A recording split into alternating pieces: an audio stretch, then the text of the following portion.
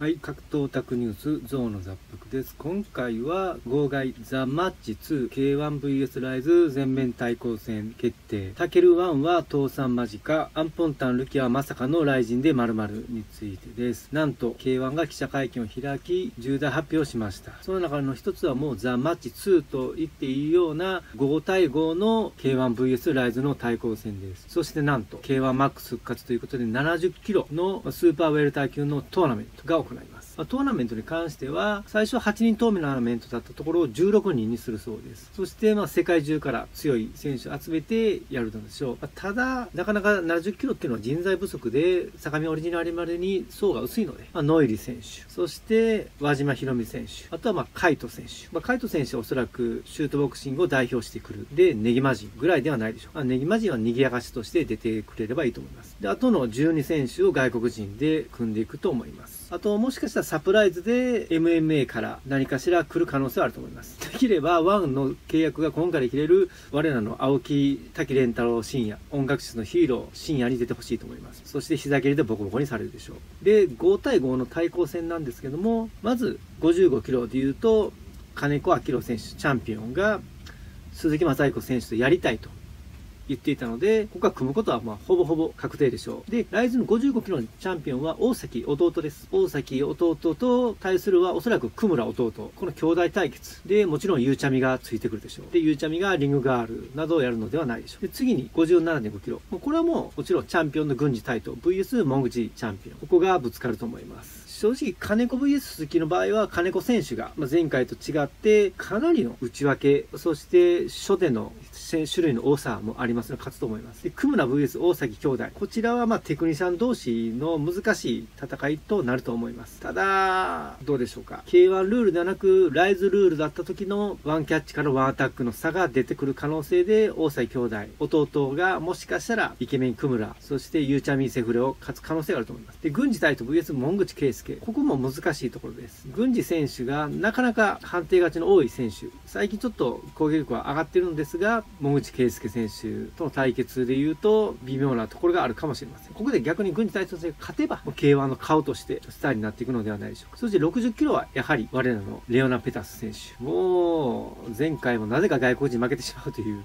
いいとこで負けてしまうレオナ・ペタ選手とタイガ選手。こちらの新旧 K1 対決になるのではないでしょうか。レオナ・ペタ選手は本当に強い選手なので、ここはタイガ選手の出入りの速いサウスポーの動きに対してのペタ選手の石の拳。こちらを当てていくことによってペタ選手は勝つとは思います。で、62.5、与沢祐希選手。VS 中村寛選手。もうこれはめちゃめちゃ面白い。攻撃力満点の戦いだと思います。ただ、接近戦の与田選手。出入り、速い中村寛選手。でも正直もう、与田選手がちょっと僕頭一つ抜けてると思ってますので、与田選手が勝つのではないでしょう。で次に大和哲也 VS、おそらく原口健人選手は出てこないと思います。原口健人選手は、ちょっとあの、性格がプライドが高いところもありますので、出てこずに、僕は白鳥大樹選手が出てくるのではないでしょうか。で僕、大和哲也選手の強さがいまいちわからないところがあるので、普通に白鳥大樹選手が勝ってしまう気がします。そうすることによって原口健太はもっともっと強いぞと。白川、白鳥体重に勝った直樹選手に勝った原口選手です。で、ライズが看板を守るみたいな感じになるのではないでしょうか。あと、ワンなんですけども、もうやばいです。ちなみに、ワンと、で、タケル VS ロッタンが組まれてたんですけども、ロッタン選手が怪我しました。あ、これやばいぞっていうことで、K1 側にちょっとやばいから、レンタル、選手してくれないかとか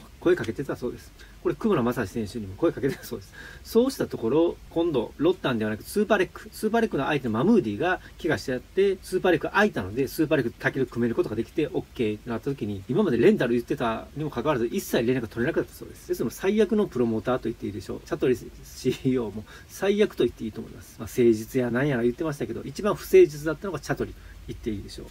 で、今回、まあ、相当な赤字を抱え、資金が潤沢であるのですが、毎回毎回赤字ですので、で、この日本大会でこけてしまったら、もう、ファンド側、投資会社側もかなり渋くなってくると思います。ですので、今回、タケル戦が売れなければかなりやばい状況になるとは思います。で、一番バカなのは、我らのチンポムキアことアンポンタルキアです。アンポンタルキ アは、競馬にちょっといれば、ノイリ選手と、この70キロのトーナメントで当てる可能性もあったですし、逆にライズ対抗戦で活躍できたものの、もう、競 K1 を抜けてしまって、しかも、いわゆる K1 から不義理したみたいです。K1 としては、契約がなくなったことを、1月下旬ぐらいに本当は言わないといけないのに、アンボン・タデキアは、ブレイキングダウンのオーディション、オーディションの前の日、もう1ヶ月以上前に言ってしまって、まあ、契約を、まあ、不履行じゃないですけども、保護にしたので、K1 にはもう戻れない可能性が高いので、で、MMA を転向したのですが、もう今年29なので、31ぐらいまではもう地獄のトレーニングをして、ようやく強くなったとしても、まあ、71キロっていうのは外国人天国なので、このままボコボコにされ、ボブサップならぬアポサップとして、連敗記録を20連敗ぐらいして活躍するのではないでしょうか。以上となります。ご視聴ありがとうございました。今週日曜日10時からライブ配信を行いますのでご覧ください。また皆さん、トップブライツ、ぜひぜひペーパービュー買ってください。僕も買います。それでは、さよなら、さよなら、さよなら。